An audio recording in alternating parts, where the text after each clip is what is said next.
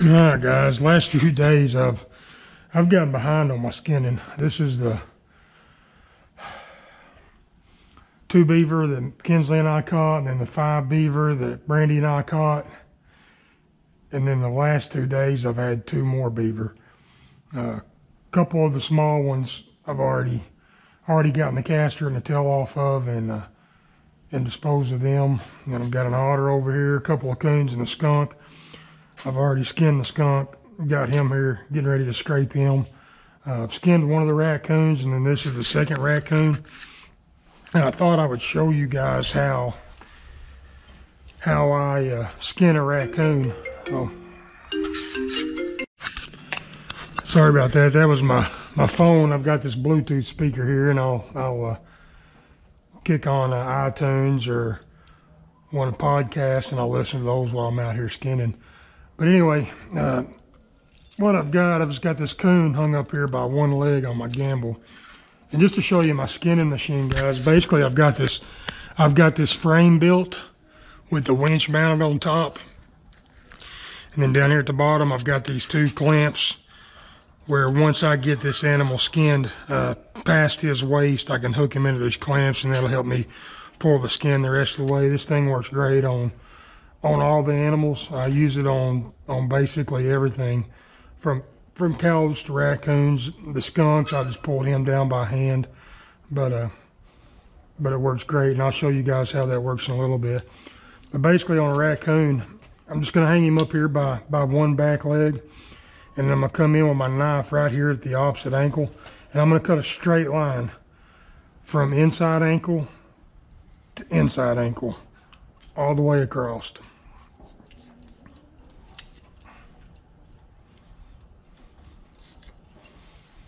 And that's going to be my opening cut.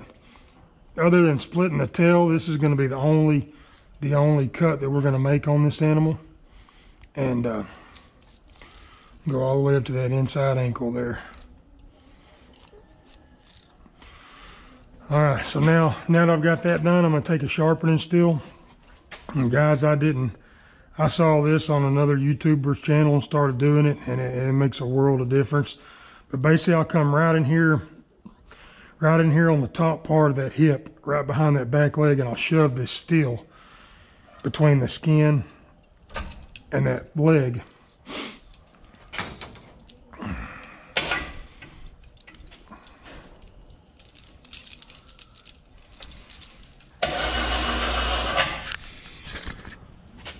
Try that again.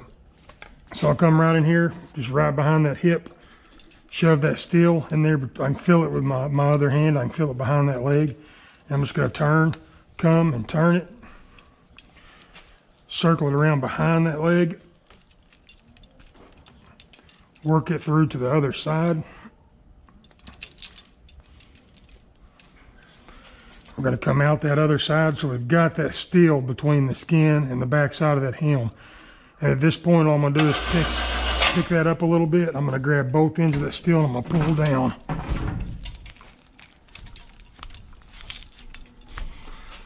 And that separates that skin from that whole entire back leg.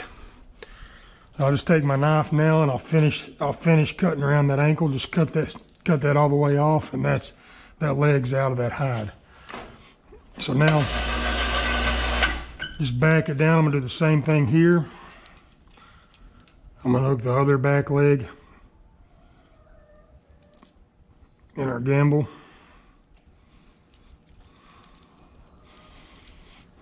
The one we just skinned, we're gonna put it in there and we're gonna let this one out, loosen it. And we're gonna do the same thing. We're gonna take our steel, go right there to the back side of that, that hem, work that steel and you can see it, see it pushing the skin out on the other side. Work it around all the way behind that leg and going to come out the other side, right on the front of the leg. Same thing at this point, just grab both sides of that steel and pull down.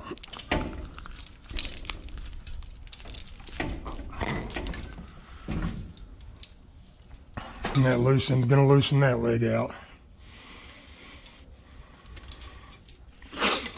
Now I'm taking it both legs back up to my gimbal.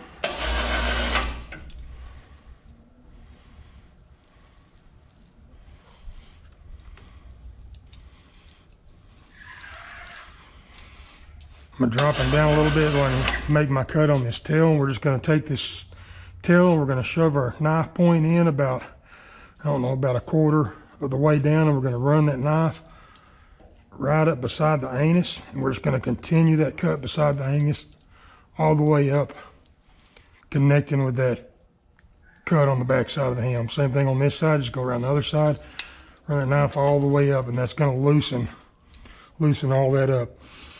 Now at this point, I'm just gonna trim, trim some of that down to where we can get in behind that tail on both sides. I'm just gonna bring that skin down to the bottom side of that tail. We're gonna do the same thing here. We're gonna take our, our steel and we're gonna run it right behind that tail between the, the meat and the skin. And we're gonna pick it up and we're gonna pull down. Now right here, guys, don't pull too hard because you're only gonna be able to pull it down to where you've made that split on that tail. If you try to pull it down past that split, it's gonna rip that, rip that tail off there. So at this point, I'm just gonna loosen up, loosen that up a little bit where we got it stretched. And guys, to pull my tail out, I just use a key here. So I'm just gonna put that key around that tail. I'm gonna twist it sideways where I can grip my fingers in here on both sides of it. Place my other hand on the, gonna ring that tail with my finger and thumb and I'm gonna push on that hip and pull on that tail skin.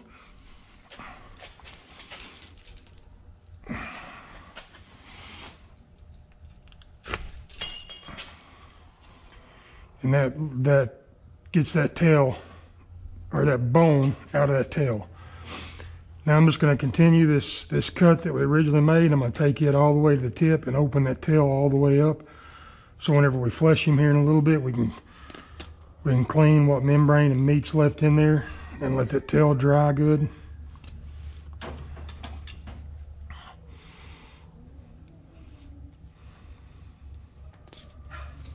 Just all the way down to the tip. All right. Now I'm just going to finish finish and loosening up this belly side of this.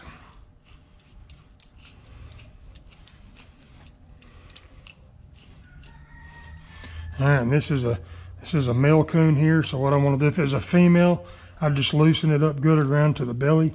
On this male, I want to loosen it up all the way to the tip of his penis bone.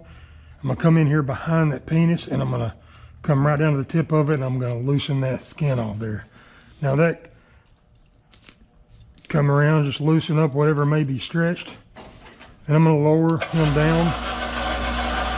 Place both back legs where we cut around that ankle into these clamps. Clamp that side down. We'll come around here and we're gonna clamp this side down.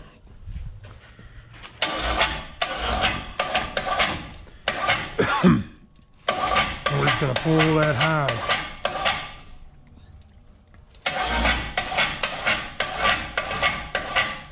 all the way up until we see his elbows come out. Let me spin him around so you guys can can see see the front side of it.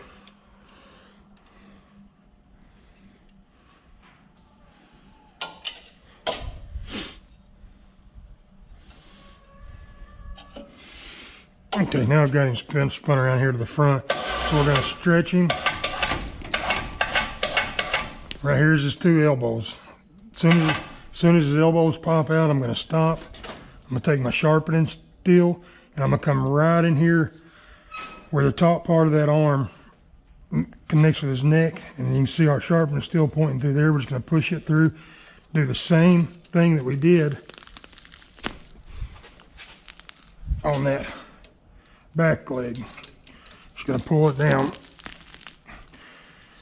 Guys, I left the front feet on this coon. Uh, if you want, you can completely cut the front, front feet off and that leg will completely pull through that skin. So we lift him on this time, so we're just gonna take and, and ring that skin that's left on there. Now we can pull that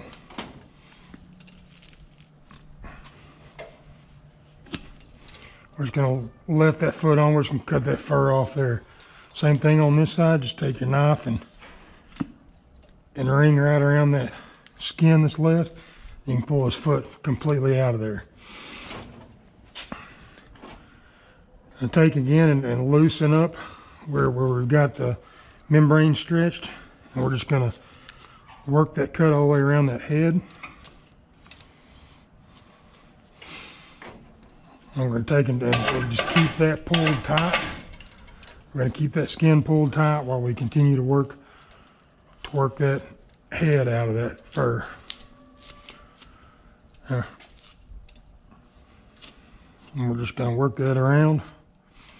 Right here, we're to the ears. I'm gonna cut down into the skull, cut through that ear, and then come behind it and loosen it up. Come around to the other side. We're gonna do the same thing. We're gonna cut deep behind that ear. Come in here and loosen that up. Just continuing, continuing to, to cut along that line. All the way down to the tip of the nose. And pull a little tension, tension back on it. Do the same thing, just work that, continue working that head down to the eyeballs.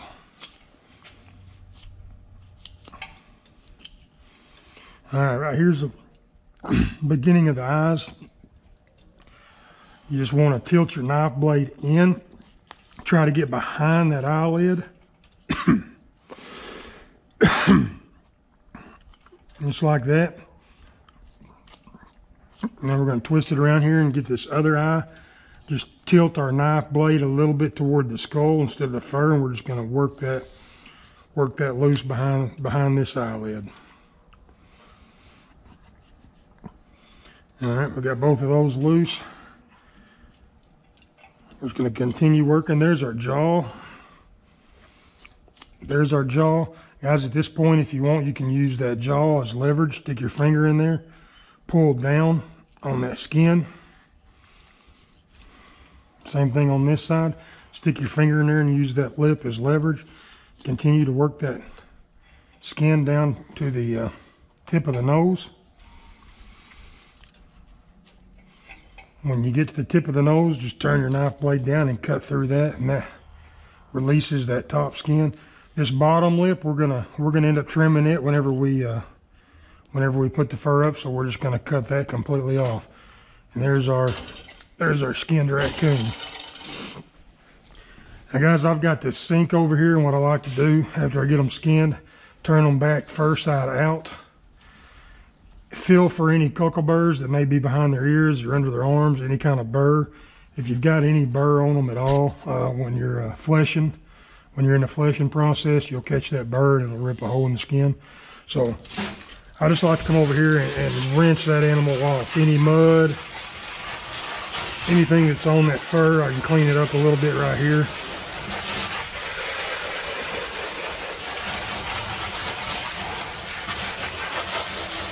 This raccoon's actually pretty clean. Uh, most of the time they've got a lot of mud and dirt and stuff on them.